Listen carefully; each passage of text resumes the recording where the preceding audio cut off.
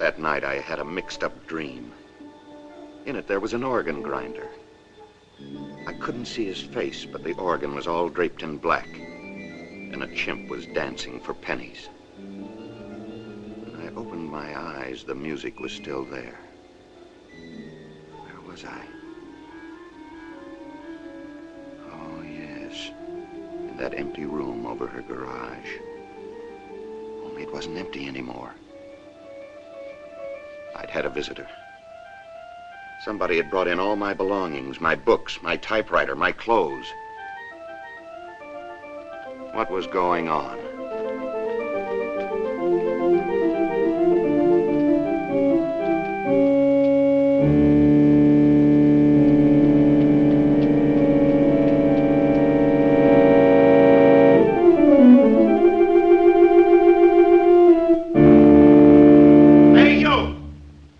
Whatever your name is, what are my things doing here?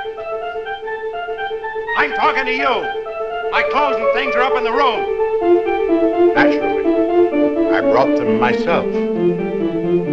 Is that so? Why, what's the matter? Is there anything missing? Who said you could? Who asked you to? I did.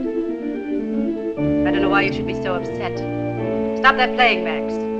It seemed like a good idea if we are to work together. Look, I'm supposed to fix up your script.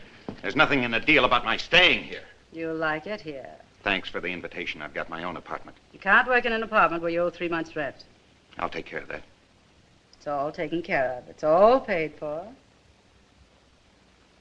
Okay, we'll deduct it from my salary. Now, now, don't let's be small about such matters. We won't keep books. Max, unpack Mr. Gillis's things. It is done, madame. Well, pack him up again. I didn't say I was staying. Suppose you make up your mind. Do you want this job or don't you? Yes, I wanted the job.